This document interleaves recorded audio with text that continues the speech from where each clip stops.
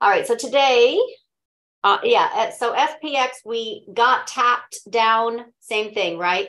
Here's my level 3870 is support, 3950 is next resistance. That's really important.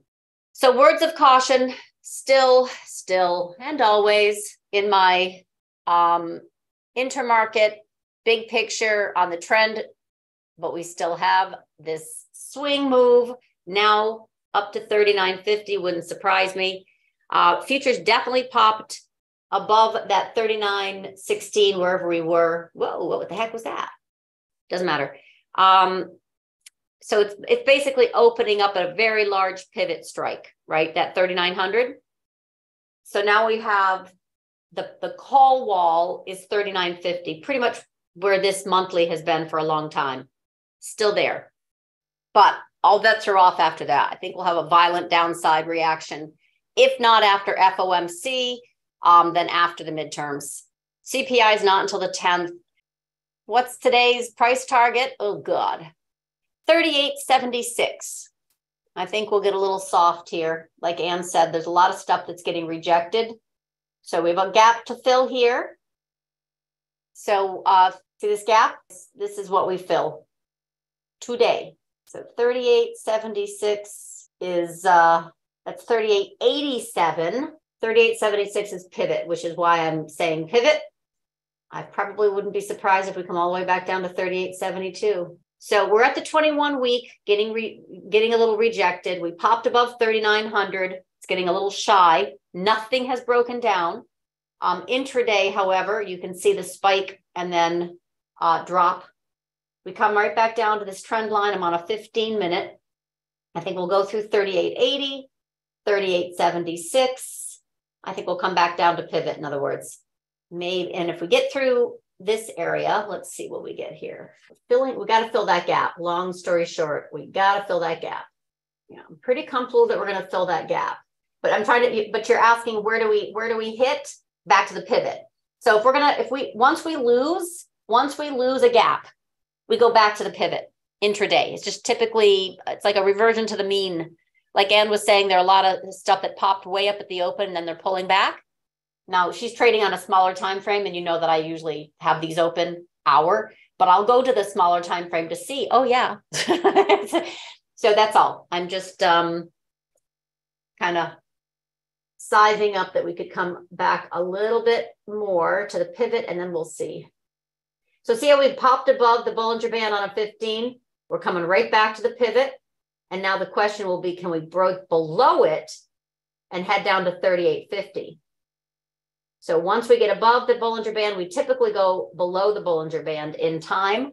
So now we got to see if we can break through this um, 38, 72, 42, and then head down to that bottom of the Bollinger Band on the 15, which is basically 38, 59. All right, so we're shorting out. That's basically this revert, this rejection at 3,900 with potential come all the way back down to 3838.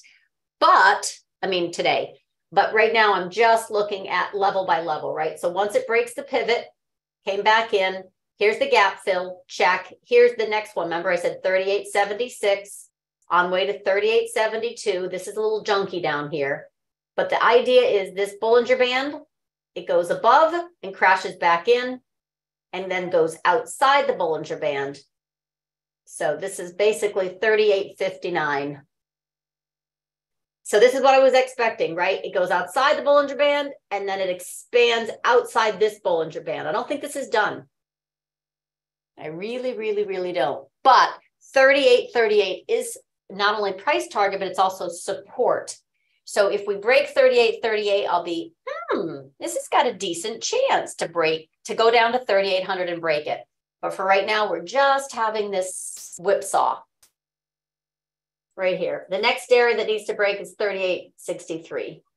I think we can make it to 3859. That wouldn't surprise me. But we're sitting on the three day again. And 38, 38 is key for SPX. It doesn't even want to go down that far. So 38, 63 has to break. It's just not there. Strange, huh? I know.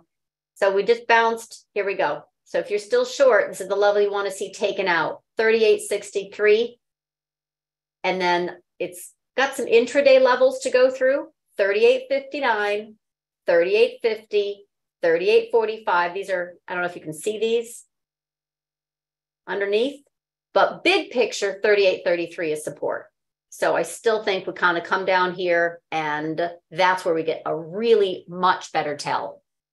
We also have a little stabilization here with this SPX. We've kind of gone a little bit outside, the, a lot outside the Bollinger Band on an intraday, a little outside, so not so exciting. And here we are getting supported. Pretty, pretty frustrating if you are still trying to short this. It has to stay below 38.81, right?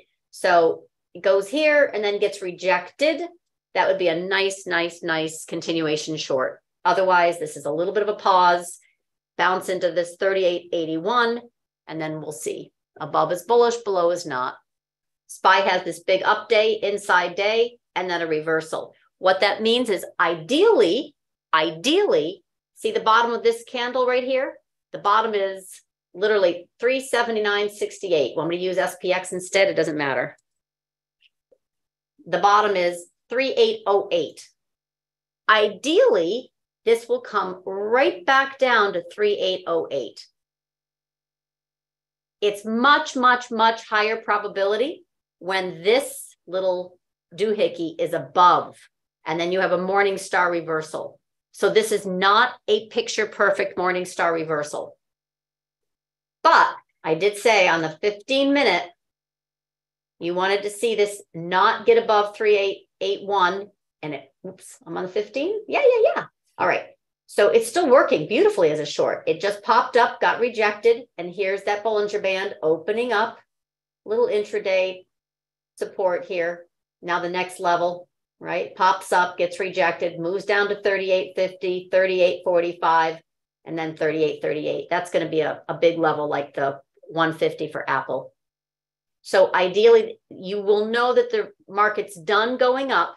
In other words, for this swing that has been in play since 1013, and then this was Bank of Japan intervention Friday morning confirmation, and then you have this, you know, inverse head and shoulder 3800. We go all the way back up to the 200 day.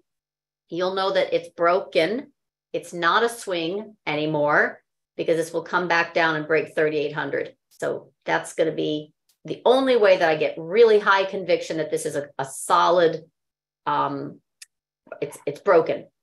It's not going to move any higher. We don't have it yet. We just have the potential of this reversing all the way back down.